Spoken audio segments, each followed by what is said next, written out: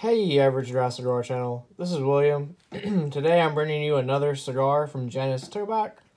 Thanks to Mr. Shad. It is the Guimaro. I'm sure I'm mispronouncing that, but you know what? It's all good. It's a Corona Gorda, 5.5 by uh, 40 cents. The wrapper is Mexican San Andreas. The binder is Brazilian. Our Paraca Castaño. The filler is from the is from Nicaragua and the Dominican Republic mixed together. The factory is a Fabrica de Tabaco Nica Sueño. No, I am not pronouncing those correctly. Yes, please correct me if I am not. So, here's a cigar. Looks pretty good. I'm going to cut it, light it, and come back at you with some more. Stay tuned. So I'm back with the Diarmo. I am at the first ash. I want to get it before it fell off there. I'm getting a little bit of an earthy flavor right now, and it's getting a little bit fuller.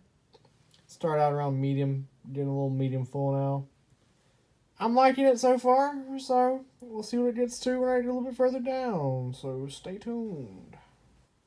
So I'm back with the wrap up of the Diarmo. I got it at janustobacco.com. Thank you, Shad, for telling me about these. Really like them.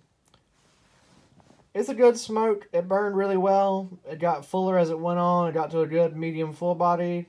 It's, about a 7 on a 1 to 10. It definitely had some good flavor. I got a little earthy flavor out of it. I liked it. I'd suggest it. They're a little under $8 a piece.